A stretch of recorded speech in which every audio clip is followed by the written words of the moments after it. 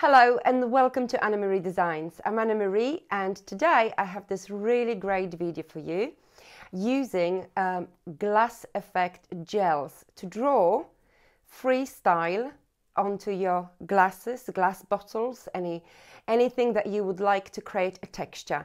So um, what you're going to need first of all is these little wands. This one I'm using uh, today is actually clear one but they do come in different colors white, green, blue, pink, etc.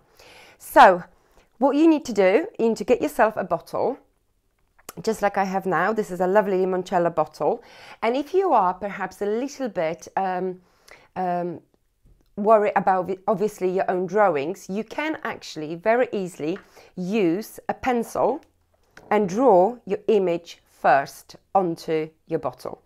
Okay, now so I'm going to be doing a snowman today, but let me just show you a few other examples. So this is a different color of glass effect, as I showed you, and this is a tree. Okay.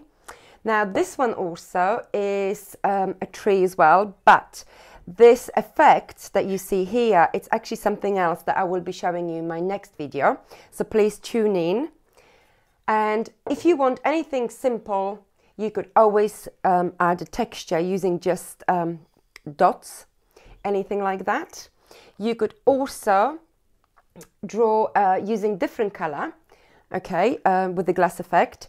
And this is just a flower one here using a pink glass effect gel.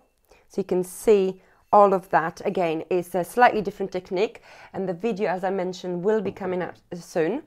And this one, um, it's uh, again freestyle flowers and leaves on my vase and clear glass effect again. And on top of that is just the ceramic effect. So, so what do you need? Really, the one thing you do need is only your bottle that you would like to upcycle, remove the labels obviously from your bottle.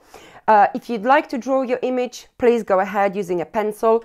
If it's something um, in, um, not completely perfect the way you want to obviously have, don't worry about it. And then obviously using uh, the clear one, I'm just going to follow my pattern. So hold your bottle.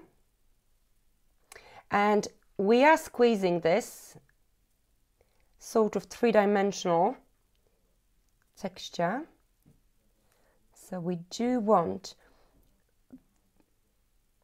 this, this drawing to actually be uh, 3D.